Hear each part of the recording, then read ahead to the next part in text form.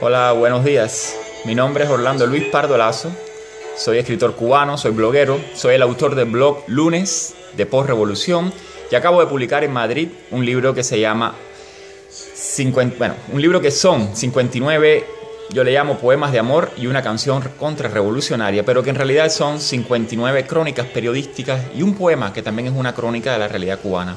Este libro, publicado por Ediciones Hipermedia, se llama Del Clarín Escuchad el Silencio.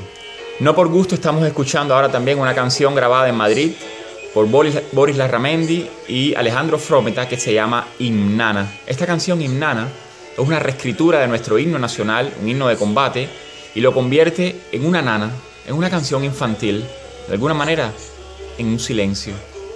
Les dejo un poquitico de la canción y les hablo también de mi libro.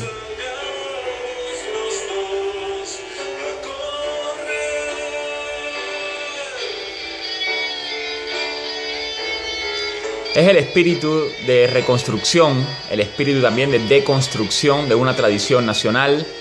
No solamente la crítica al régimen castrista de La Habana, sino también la crítica a lo que somos como cubanos, a lo que aspiramos ser, si vamos a poder construir una nación libre o no, la crítica a la cubanía como institución, como algo que nos constituye en un, en un pueblo que, que está luchando por sus derechos, pero que a lo largo de tantas décadas pues también se ha convertido un poco en imagen de sus propios represores.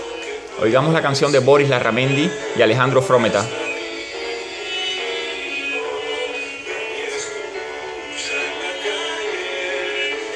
Ven y escucha en la calle el sonido.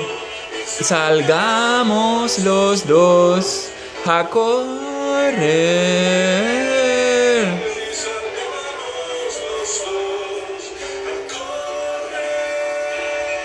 Sin más, los invito a la presentación del libro en Madrid el 29 de junio a las 7 de la noche con Carlos Alberto Montaner y Rosa María Payá.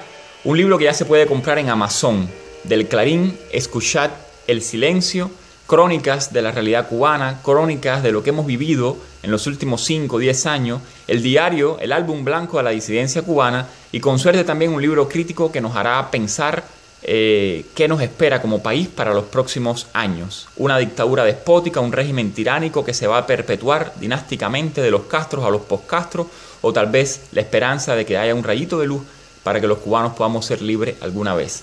Cuba decide, suma tu firma en el plebiscito por las libertades de los cubanos. Un abrazo a todos los lectores de Hablemos Press y muchísimas gracias.